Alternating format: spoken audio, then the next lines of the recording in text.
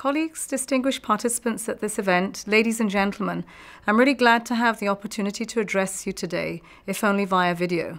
Allow me to express my gratitude to the Oxford Poverty and Human Development for inviting me to participate in this meeting. Ladies and gentlemen, we're in the midst of a process to define a new sustainable development framework that will succeed the Millennium Development Goals. The broad consensus emerging is really encouraging, while we transition to a new, broader agenda, eradication of poverty in all of its dimensions must remain the highest aspiration. A long term vision for the people and the planet, encompassing poverty, inclusive growth, and the environment. A life of dignity for all. Colleagues, it is increasingly recognized that it is feasible to eradicate extreme income poverty by 2030. This is an ambitious yet reasonable target to be considered in the post 2015 development agenda. However, eliminating extreme income poverty doesn't mean that poverty is eradicated in all its forms. Indeed, the Secretary General has stressed that the new goals should embrace the emphasis on human well being and include the use of metrics that go beyond standard income measures. Member states are considering the need of going beyond the GDP paradigm the possibility of using an index which would bring about the multidimensional aspects of poverty has been raised in their deliberations by countries that are already using multidimensional poverty indexes, most of them already participating in the multidimensional poverty peer network.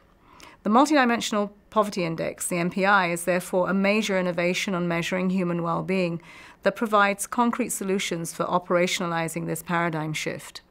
The MPI captures the multiple deprivations that each person faces at the same time with respect to education, health, and living standards, as it does assess poverty in all its dimensions as people experience it at the individual level.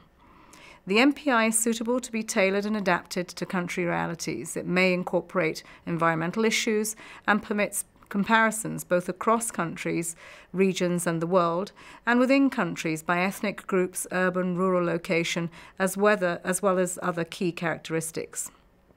Ladies and gentlemen, we are now closer to the summit in September 2015, in which the new development agenda will be agreed by world leaders. This is an agenda where keeping GDP per capita the core, as the core indicator of progress would really misrepresent the vision of a life of dignity for all. We need to complement income poverty measures with poverty indicators able to capture all its dimensions. This is a part of the data revolution needed. The new agenda will only be successful if it empowers people, communities, villages, grassroots organizations, local authorities, workers, businesses, and governments to participate and be agents of change.